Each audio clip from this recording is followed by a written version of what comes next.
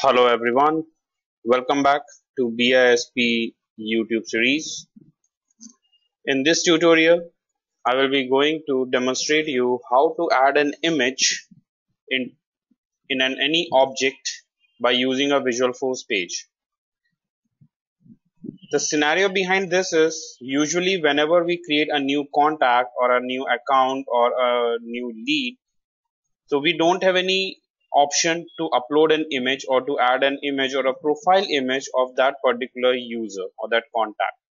So by using a Visualforce page, we can provide a separate section where we can provide an option to a user so that the user can upload an image on account or contact records so for this, we'll be going to take help of Apex and Visual Force pages and later on we'll be going to add that Visual Force page into our account or contact layout section. So let's move on to Salesforce and we'll be going to create a Visual Force page. So let's create a Visual Force page here. So to create a Visual Force page, I'm going to create uh, Apex slash and add image on contact. So I'm going to give a section, I'm going to provide a section on contact like we have various contacts. So I'm going to provide a section on the contact and when by using that section user will be able to upload an image on that particular contact. So as you can see here we have this contact so I have opened that contact and in, in this contact we have fields for getting the name, home phone, mobile and other things but we don't have any option for uploading an image or to add a profile image to this particular contact. So I'm going to set up by using a Visualforce page. So let's create a Visualforce page and through code we'll be going to achieve this.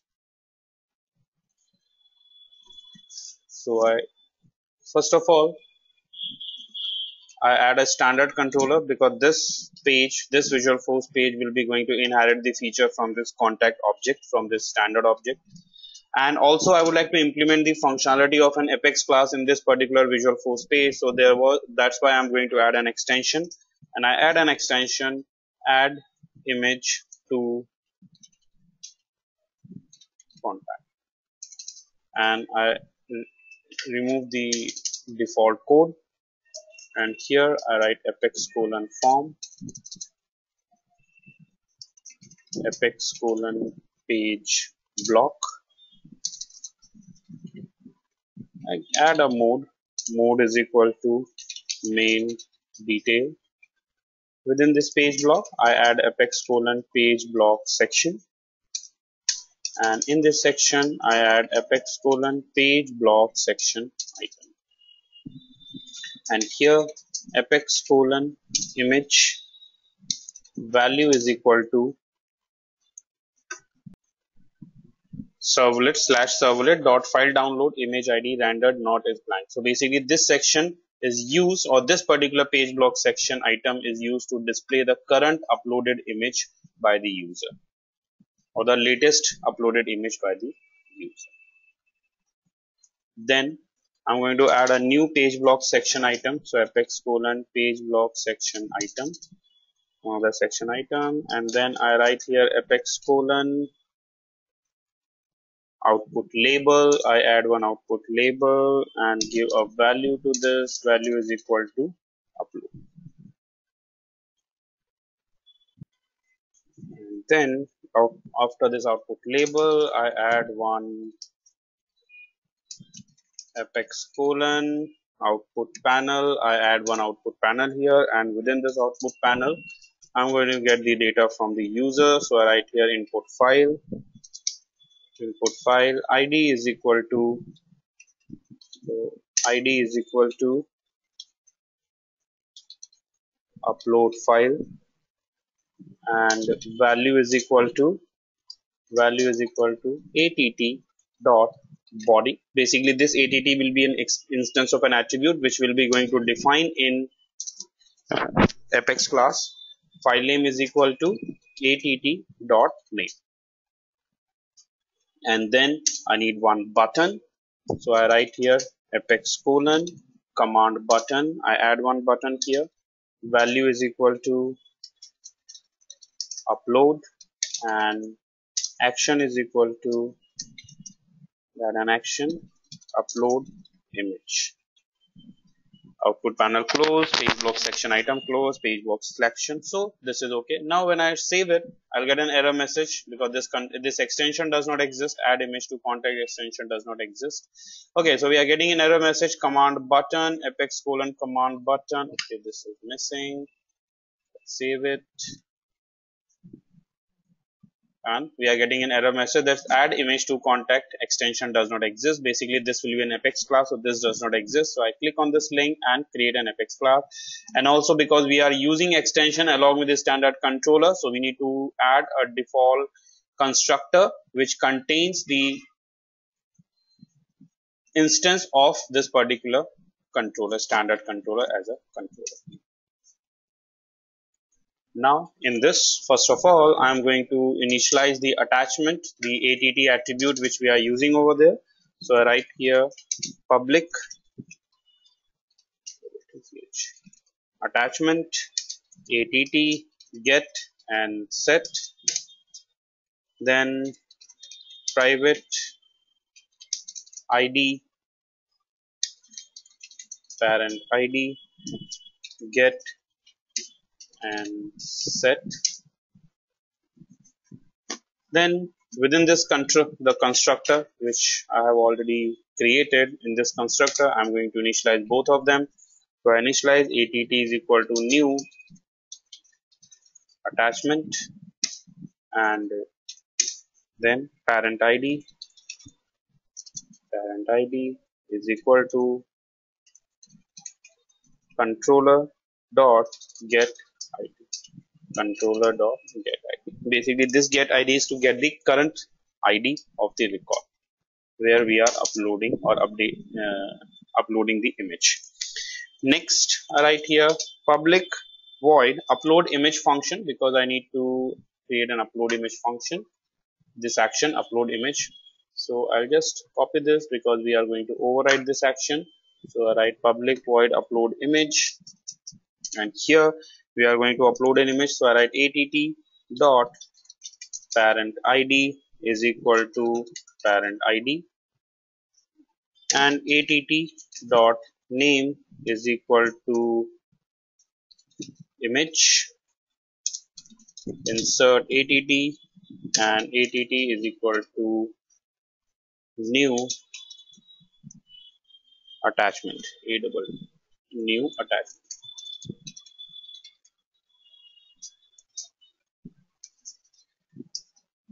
this is for final initialization. So it will upload an image. And now if you want because we are going to display the id in this section so we have an it is asking for image id so we need to create a function here public void get image id so write public basically it will return the id so it will not be void. So return type will be id and get image id the name will be same. So i copy this we need to make sure the names are same because it's case sensitive. So image id and within this image id we'll be going to call it. So in this image id i mentioned here id is called if I, I initialize i create a new variable result equal to null of id type. List of attachment because we are going to pull the data from the